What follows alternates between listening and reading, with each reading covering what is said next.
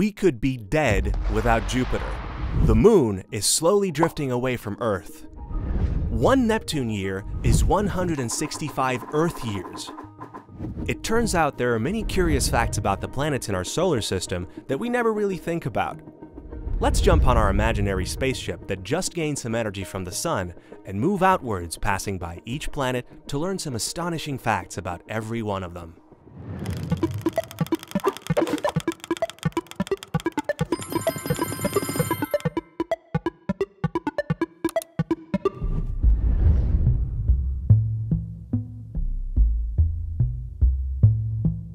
Mercury is the smallest planet in our solar system and also the one which is the closest to our Sun. Maybe that's why, during sunlight, temperatures on Mercury can reach up to 427 degrees Celsius. For Mercury's surface, the Sun would appear three times as large as it does when viewed from the Earth, and the sunlight would be 11 times brighter.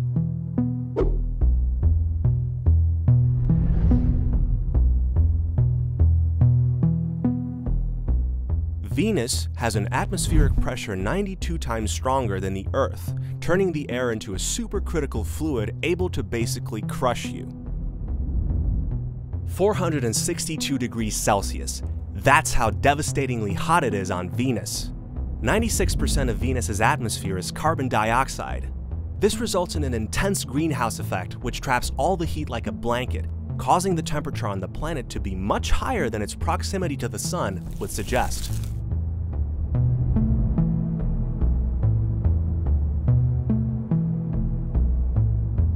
Earth's interior is actually not solid. Our planet has a kind of squishy interior because of the high temperatures and pressure below the surface. This rather spongy consistency is actually responsible for volcanic activity and earthquakes. The moon is slowly drifting away from Earth. Scientists discovered that the moon is actually straying away from our planet by about 4 centimeters each year due to the gravitational effect that each has on the other.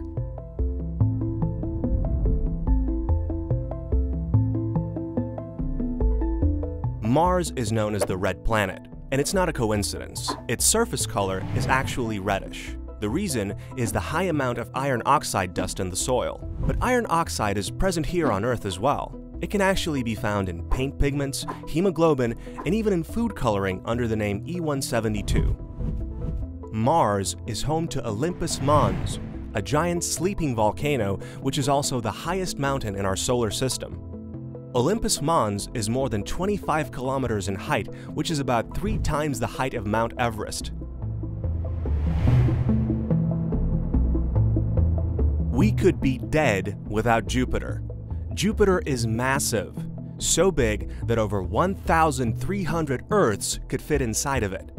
Exactly because of its enormous mass and therefore strong gravity, Jupiter attracts many comets and asteroids protecting the inner solar system.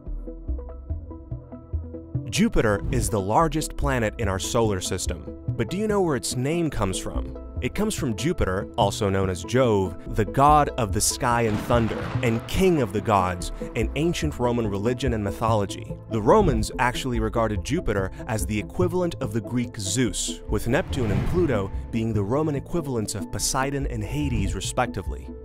Poor Pluto or Hades being so tiny and insignificant compared to the massive king of planets.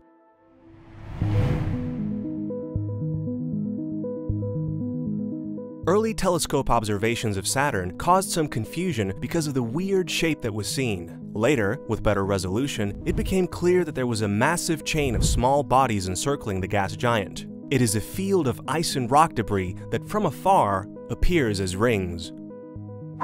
Saturn's largest moon, Titan, is actually bigger than Mercury. With its 5,149 kilometers in diameter, Titan is the second largest moon in the solar system after Jupiter's Ganymede.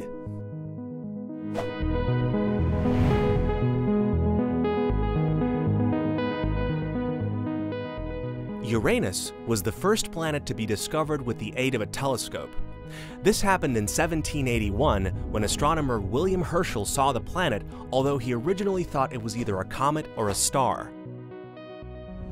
While most planets in the solar system are named after Roman gods, Uranus was named after the Greek god of the sky, father of Cronus, the equivalent of Saturn, and grandfather of Zeus, the equivalent of Jupiter.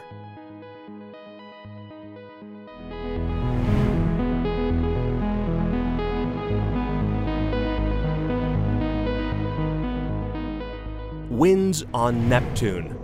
They reach up to 1,771 kilometers per hour, which is almost five times more than the highest wind speed ever recorded here on Earth.